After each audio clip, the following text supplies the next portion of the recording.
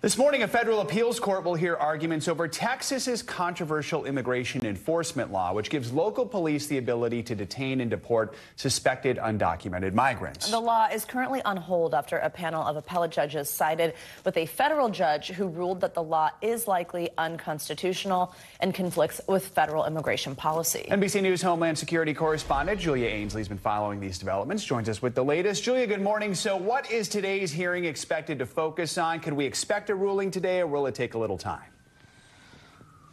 Well, it'll probably take a little time, Joe. We've seen a really fast game of ping pong over this issue with the Supreme Court weighing in, saying it could, uh, uh, it, it, there needed to be a stay, and then reversing that stay, and then the circuit court taking it up. And it's really just gone back and forth. There was even a moment where it was allowed to go forward for about 24 hours. Now, we should expect a little bit of a pause. And that's because the circuit court, the appeals court, actually wants to weigh in on the constitutionality of this law. So far, all of these rulings have just gotten into whether or not it can go forward in the meantime while they consider this question. So today, they're giving both sides 30 minutes to present their arguments. And then we should uh, have, we should expect a little time by these three judges, one appointed by Biden, one appointed by Trump, and one appointed by George W. Bush, will consider the constitutionality of SB4. And we should say that Texas seems to have the higher hill to climb here.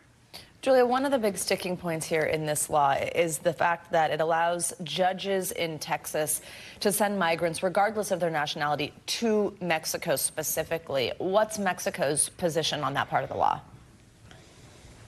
Well, yeah, I mean, that's where a big part of the logistics here just fall apart because Mexico has said, no, they won't take migrants who have been deported by Texas judges. These judges have not been trained by the Justice Department to even know how to adjudicate who should remain and who should be deported.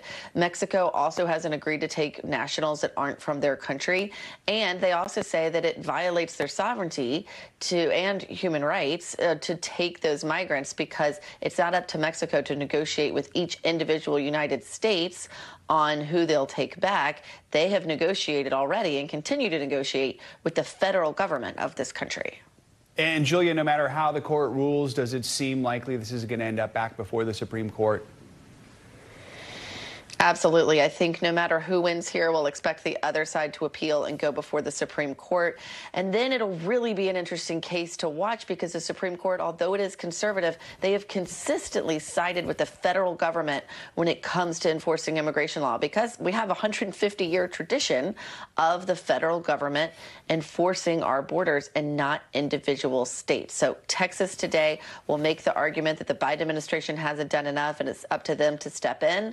But they'll have to answer a lot of questions in order to prove that and to even talk about how this would look. And when they made these arguments before the same court on the stay, uh, they did not win. And the judges asked some pretty tough questions, including what would you do if a migrant who came in through Arizona ended up in Texas? Uh, and they weren't able to answer that at the time. They may have done more homework in the meantime, but they still have a, a pretty tough hill to climb here, Joe. All right. Julia Ainsley, thank you so much. Thanks for watching. Stay updated about breaking news and top stories on the NBC News app or follow us on social media.